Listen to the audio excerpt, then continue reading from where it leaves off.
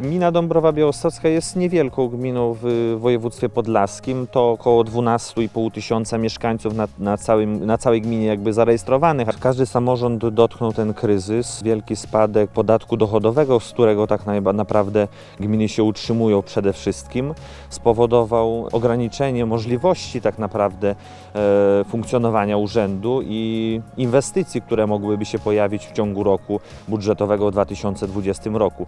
Aczkolwiek spadek tego podatku dochodowego.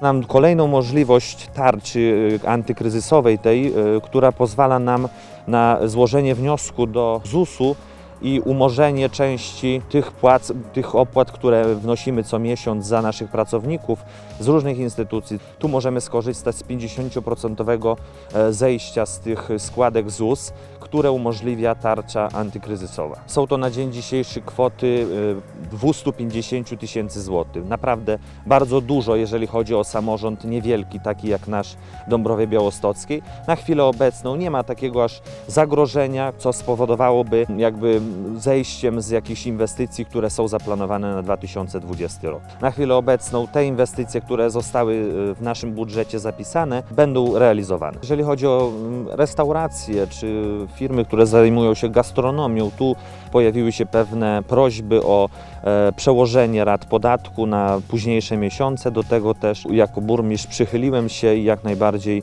odroczenie takich rat kredy- podatku zostały odroczone.